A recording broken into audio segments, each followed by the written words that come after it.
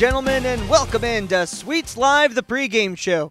I'm your host, Cooper Huskey, and it is a beautiful day for a ball game, as the song says. Bright blue skies overhead. Again, not a cloud in sight. Sun beaming. Just a wonderful, wonderful day for a baseball game. Tonight it'll be the Walla Walla Sweets taking on the Port Angeles Lefties. Let's take a look at last night in the series opener. Sweets got on the board first, bringing home one run in the bottom of the first frame. Davis Mozzie hit an RBI single that brought home David Miza. He would make his way to second and then try to come home on a double, but was tagged out at the plate. It would turn out that tag out would just snuff out any momentum the Sweets had, as that was the only run they would score in the last time they would see third base. Defensively and and on the mound, the Sweets played well, except for one disastrous fourth inning. Seven runs come in to score for the lefties, six of them unearned. It was it was a tough scene, and it led to Port Angeles winning seven to one. Looking ahead to tonight, it is game two of a three-game set, an interdivision game. Port Angeles out of the north, Walla Walla in the south. Sweets looking to take game two and even up the series one game apiece so as to avoid losing four straight series in a row to start the season. We'll take a break. Up ahead, couple interviews, and then we will preview tonight's pitching matchup on the mound. Don't go anywhere. You're watching Sweets Live, the pregame show on the Sweets Digital Network. Hey, your homework done? Yep. Hmm. Is your homework done? This kinda is homework.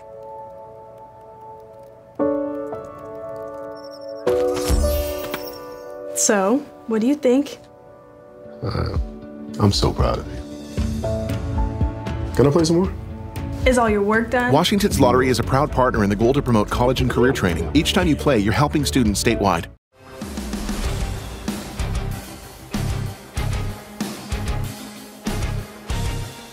Welcome back into Sweets Live, the pregame show. I'm here with manager Jarrod Molnaa and coach.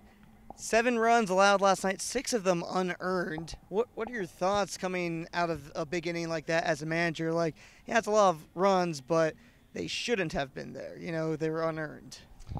Yeah, I mean, unfortunately, that's uh, a part of the game that nobody ever wants to touch, think about, uh, feel. That's for sure. But um, uh, inevitably, what it comes down to is making plays and making pitches. And unfortunately, we kind of set the table there early on with a couple walks and uh, ran to the end of a, Wessel's rope there with his pitch count and came in and ended up walking another couple guys there once we went to the pen and then they end up finding a couple knocks so you know it's just uh, yeah like i said just kind of an unfortunate part of the game and um, more times than not what happens when you're not making plays and making pitches. So um, yeah just a learning lesson for these guys um, as to how imperative it is to make plays when you get the opportunity to to, to limit to limit innings and limit the other team's ability to manufacture runs like that because uh, we definitely set the table and then even after the initial the initial two walks uh, kind of let that snowball on us there um, in that inning and just kind of got away from us. Couple of new guys in the lineup last night. Starter Jace Wessels and shortstop JJ Moran, who led off. What are your thoughts on the new guys' performances last night? Yeah, I thought Wessels did a really good job out the gate. Um, you know, he gave us three really, really strong innings. Uh, came out there in the fourth and just looked a little bit tired, but you know, he did a really good job at uh, competing through the first third of the ball game there and putting us in a position to win up to that point. Um, JJ, I thought he played a phenomenal shortstop. I think he proved to every, everybody in the building, everybody in the stadium, that he's going to be more than capable of holding that down for us. Um, offensively, he's going to get himself going. So, first couple at bats for a young buck like himself uh, after a couple weeks off in a league like this uh, is nothing to look too deep into. So, excited to keep writing his name in there and uh, have him lead our lead our lead our infield defense from shortstop. So. Lead our infield defense and then go on to Stanford, D1 player right there. I think one of the first few D1s in our lineup so far this year. Um, yeah, we have a few between David, uh, JJ, a few that are still yet to get here, and Court Ryan, a few, a good number of our arms. But uh, yeah, just waiting for the few of those guys to get in here and start writing that full lineup and hopefully kind of hit the ground running once they do. Awesome. Final question looking ahead to tonight, game two between the lefties and the Sweets, looking to even up the series, or probably more importantly, not drop our fourth series to start the season. Just what are you looking for from your team tonight?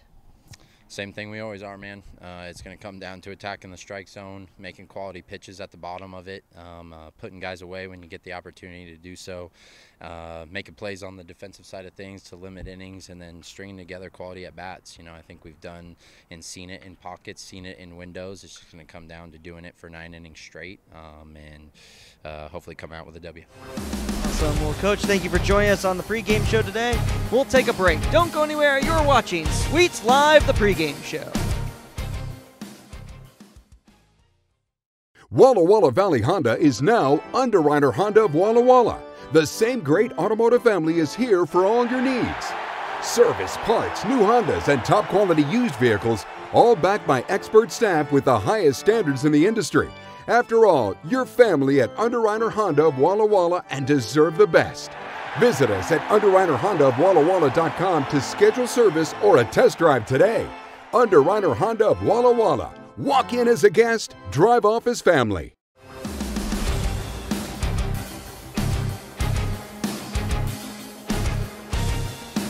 Welcome back into Sweets Live, the pregame show. I'm here with Mason Millar. And Mason, this is your second year with the Sweets. What brought you back here to Walla Walla? Um, just the community, kind of being in Walla Walla for the past two years. Uh, I play over at the community college, so it's kind of just staying at home for me in a sense. Uh, kind of being away, going back to Boise for a little bit, and just always find my way back here to Walla Walla. So. All right, you play at the community college, as you said. For manager Jarrod Molnaa, is there a difference between his coaching styles at the community college and here at the Sweets, or is it pretty much the same? Um, well, the intent always stays the same. Definitely in summer ball, you got to be a little bit looser. A lot of new faces, a lot of guys he hasn't like coached before, um, but still the same intent every day to go out here and win, try to get better, and find a way to scratch a win across that board. All right, taking a look at the uh, other side of summer league baseball, you know, guys coming in from all over the country to play here. Your family has opened up your home to two other players, Davis and Daiki. Tell me about what it's like being a host for a couple of your teammates. Um, it's great. It's a great experience, especially uh, Daiki. I grew up knowing Davis a little bit, but Daiki coming in from Japan, uh, it's definitely one of those things that it's kind of a little bit of a barrier gap between some of the things we talk about, but it's it's amazing. Trying to learn the language, trying to learn what they do on a day-to-day basis is definitely something that I've I've loved over this past couple weeks, and I continue to hope to continue to love it as just as much as I am. Awesome. Well, Mason, thank you so much for joining us here on the pregame show today. We'll take one more break and then look at the pitching matchup. Don't go anywhere. You're watching Sweets Live, the pregame show. Anything else? Yeah, can I get some napkins? Sure. That'll be one dollar. For a napkin? Ridiculous, right? You know what else doesn't make sense? Some people are still paying for their checking accounts. Some places it's 12 bucks a month. At P1FCU, we believe some things should just be free. Open your Ascend checking with tons of great benefits at p1fcu.org/free.